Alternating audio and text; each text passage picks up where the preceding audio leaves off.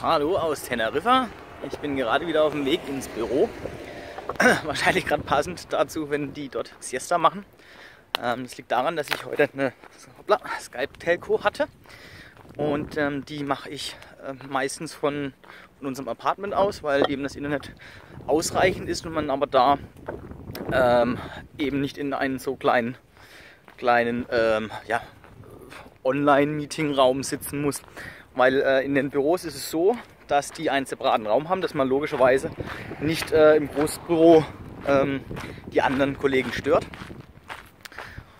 Äh, angeblich wäre es auch so, wenn, man, wenn der Raum gerade belegt ist, kann man äh, in ein weiteres Büro gehen. Das habe ich allerdings alles noch nicht getestet, weil ich es äh, einfach vorziehe, das dann von zu Hause zu machen, vom Apartment aus. Und ähm, das funktioniert eigentlich ganz gut. Man sieht, heute ist auch wieder äh, schönes Wetter. Und da möchte ich einfach nicht so in einem dunklen kleinen Raum sitzen. Ja. Ähm, das Internet im Coworking Space ist super, also richtig gut. Gut, ich habe es jetzt gestern Abend den Speedtest gemacht, als ähm, nicht mehr viele im Büro waren, nur noch der Engländer. Der hat genauso viel Sitz Sitzfleisch wie ich. Ähm, so um 9, da war dann also quasi keine große Last mehr drauf. Aber ich bin da am äh, Schauen heute noch genauer, äh, wenn dann mal mehrere Leute im Büro sind, wie dann die Geschwindigkeit ist, aber die ist äh, richtig dicke. Ja. Äh, ich werde natürlich in meinem Blog die Speedtests veröffentlichen, das heißt, ihr könnt euch das anschauen. Wenn ihr eben auch mit dem Gedanken spielt und ihr wisst ja, was braucht ihr so an Bandbreite, dann könnt ihr euch das Ganze eben anschauen. Dann ähm, vielleicht noch zu, zur Info, wie wir jetzt Anschluss gefunden haben. Wir werden morgen zu Hause eine kleine äh, Party im Apartment machen mit den Kollegen. Ähm, und zwar ist es so, dass es hier eben Aktivitäten gibt. Und dann lernt man bei diesen Aktivitäten die Leute äh, kennen oder Freunde auch von den Leuten.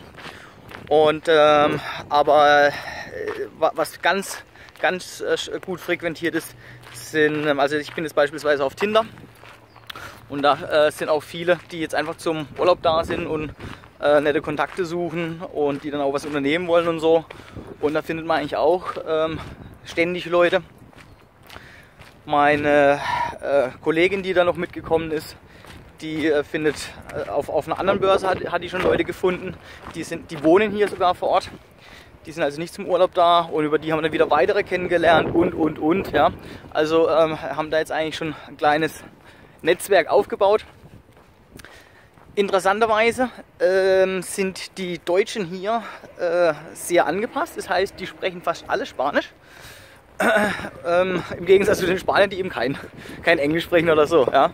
Also man muss hier eigentlich äh, sich doch ein bisschen mit Spanisch durchsetzen. Also ich bin jetzt, möchte jetzt dann demnächst zum Friseur, da bin ich auch mal gespannt, wie das Ganze laufen wird. Und dann berichte ich davon. Äh, die Temperaturen sind wieder super stark. Ich habe jetzt allerdings heute gerade in den Nachrichten äh, mitbekommen, dass die Seilbahn zur Tide ähm, wegen schlechtem Wetter äh, heute, also nee, gestern muss es gewesen sein, gestern Abend, ähm, irgendwie ausgefallen ist. Und dann mussten die da äh, einzeln rausgeschifft werden, so über Stunden hinweg. Ja, also es kann hier halt richtig schnell umschlagen. Ich habe jetzt mir sagen lassen, von denen, die hier schon eben drei, vier Jahre wohnen, von den Deutschen und den Finnen, dass es ohnehin der heißeste März ist, den sie seit Jahren haben. Also ähm, das ist jetzt nicht ganz aussagekräftig, aber bisher bin ich eigentlich im Großen und Ganzen zufrieden mit dem Wetter. Zu heiß wäre glaube ich auch blöd, weil ich merke dann, man möchte dann doch lieber raus und möchte äh, und, und, und, hat dann gleich mal vier Stunden vom Tag mittags weg. Ja, die muss man dann abends wieder reinholen. Da braucht dann einfach ein bisschen Selbstdisziplin. Und ich glaube, wenn jetzt eben nur gutes Wetter wäre, dann wäre das Ganze ein bisschen ähm, ja, schwieriger nochmal. Ähm, ja, wenn ihr vielleicht noch andere Börsen kennt, außer beispielsweise Tinder, um äh, eben Kontakte im Ausland zu knüpfen, einfach durchschreiben. Äh, auch da habe ich wieder festgestellt, äh, viele, viele Spanierinnen, die dann ähm, nur Spanisch können. Ja. Ich habe mich jetzt da schon mal so leicht rangearbeitet, aber es ist noch nicht ideal. Ja, so viel fort. Ich bin jetzt dann gleich wieder im Büro. Das geht also immer relativ flott. Und um 14.30 Uhr ist wieder Salsa-Kurs, der mich die letzte Woche ähm, total begeistert hat. Und ich werde auch zu Hause dann einen Salsa-Kurs machen. Ja, so viel von Teneriffa aus.